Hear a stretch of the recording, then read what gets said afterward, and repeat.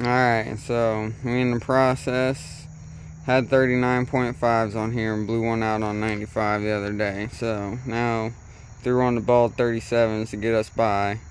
And about to put on these 46.6 inch militaries.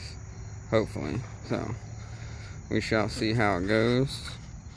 Uh, y'all be seeing shortly, I reckon. We'll be seeing. We might have to do some cutting and beating back there. We might clear up here.